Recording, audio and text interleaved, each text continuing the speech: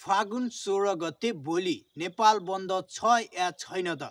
थुप्रै विद्यार्थीहरूले केही समय अगाडिदेखि हामीलाई प्रश्न गर्दै आउनु भएको छ। आज दिनभरि पनि प्रश्न आएको थियो हाम्रो अफिसियल फेसबुक पेज र युट्युब च्यानलहरूमा पनि कमेन्ट थुप्रै आएको थियो र मैले कुनै पनि जानकारी दिएको थिइनँ। किन भन्दाखेरि आधिकारिक रूपमा जानकारी नआउन्जेलसम्म हामी केही पनि जानकारी गराउँदैनौँ र के छ त? भोलि नेपाल बन्द छ या छैन त? आज म तपाईँहरूलाई जानकारी लिएर उपस्थित भएको छु। भिडियोलाई अन्त्यसम्म हेर्नुहोला। नमस्कार दर्शकबिन मेरो नाम हो दिपक केसी र तपाईँ हेर्दै हुनुहुन्छ जेभिडी च्यानल। भोलि फागुन सोह्र गते नेपाल बन्द छ वा छैन त? थुप्रै विद्यार्थीहरूले केही समय अगाडिदेखि सामाजिक सञ्जालहरूमा फागुन सोह्र गते नेपाल बन्द भन्दै निकै सामग्रीहरू आइरहेका थिए। यसको कारणले थुप्रै मलाई दिउँसोदेखि नै प्रश्नहरू आइरहेको थियो कि यो पहिलादेखि नै सामाजिक सञ्जालमा खबरहरू आएकोले र फाइनल्ली हामीलाई विप्लव माओवादीबाट जानकारी प्राप्त भइसकेको छ र भोलि फागुन सोह्र गते नेपाल कम्युनिस्ट पार्टी विप्लव माओवादीले नेपाल बन्दको घोषणा गरेको छ र आफ्ना नेता कार्यकर्ताको गिरफ्तारीको गिरफ्तारीलाई र एमसिसी विरुद्धको आन्दोलन कारणले नेपाल बन्दको घोषणा गरेको छ र विप्लव माओवादीले र थप जानकारीका लागि हामी विज्ञप्ति त्यसपछि म तपाईँहरूलाई थप जानकारी दिन्छु भोलि विद्यालयहरू के हुन्छन् र विद्यालयहरू लाग्छन् या लाग्दैनन् के छ म तपाईँहरूलाई जानकारी गराउने छौँ। यो विज्ञप्ति हेरौँ त्यसपछि म आउनेछु थप चर्चा गर्नेछु। भिडियो छोडेर कतै नजानु होला विज्ञप्तिमा यस्तो उल्लेख गरिएको छ नेपाल कम्युनिस्ट पार्टी माओवादी केन्द्रीय समिति। प्रेस विज्ञप्ति गिरफ्तार नेता कार्यकर्ता तुरन्त रिहा गर।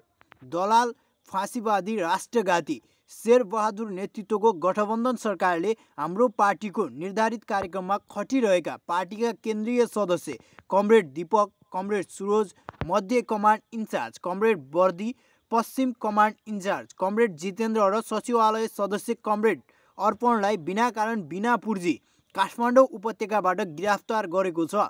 राष्ट्रघाती एमसिसी सम्झौताका विरुद्ध पूर्व निर्धारित कार्यक्रमको तयारी गर्दै गर्दा दलाल सरकारले छापामार शैलीमा गरेको गिरफ्तारी प्रति हाम्रो गम्भीर ध्यानकर्षण भएको छ।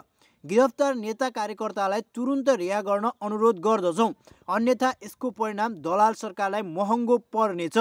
राष्ट्रघाती एमसिसी विरुद्ध भोलि फागुन सोह्र गते नेपाल बन्द सफल पारौँ मिति दुई हजार अठहत्तर फागुन पन्ध्र गते कमरेड नेपालद्वारा हस्ताक्षर विज्ञप्ति।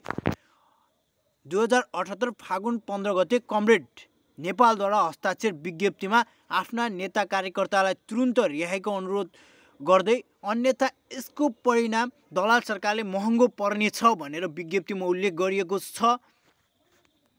राइट हामीले पुरा विज्ञप्ति हेरिसकेका छौँ र भोलि विप्लव माओवादीले एमसिसी विरुद्ध र आफ्ना नेता कार्यकर्तालाई बिना कारण सरकारले गिरफ्तार गरेको र उनीहरूलाई बिना शर्त रिहाई गर्नुपर्ने मागसहित नेपाल बन्दको घोषणा गरेको छ र यो अवधिमा विद्यालयहरू के हुन्छन् त भोलि थुप्रै विद्यार्थीहरूमा प्रश्न छ र हामीले अघिल्ला विप्लव माओवादीका बन्दमा पनि हामीले देखेका थियौँ कि देशभरका विद्यालयहरू ठप्प नै थिए र अस्ति मात्रै समाजवादी पार्टीले बन्द गरेको अवस्थामा सम्पूर्ण विद्यालयहरू खुला थिए र विप्लव माओवादीको बन्दमा सम्पूर्ण विद्यालयहरू चाहिँ बन्द नै रहन्छन् र तपाईँहरूले अघिल्ला बन्दहरूमा पनि देखिसक्नु भएको छ र त्यही पनि तपाईँहरूले आफ्नो विद्यालय प्रशासनमा सम्पर्क गर्न सक्नुहुन्छ र पहिले जस्तो छैन। अहिले चाहिँ तपाईँहरू आफ्नो सरहरूसँग फेसबुक मार्फत जोइन हुनुहुन्छ र सरहरूसँग निकै नै कनेक्टेड हुनुहुन्छ।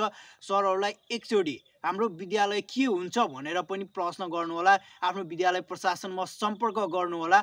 भन्दै तपाईँले हाम्रो च्यानललाई सब्सक्राइब गर्नुभएको छैन भने सब्सक्राइब गरिदिनु होला र नजिकै रहेको बेल आइकन प्रेस गर्न नबिर्सिनु होला हरेक तपाईँहरूलाई कुनै बन्द र एजुकेसन जानकारीहरू हामी निरन्तर प्रोभाइड गराइरहेका छौँ र साथै यो भिडियोलाई लाइक कमेन्ट सेयर गर्न नबिर्सिनु होला धन्यवाद।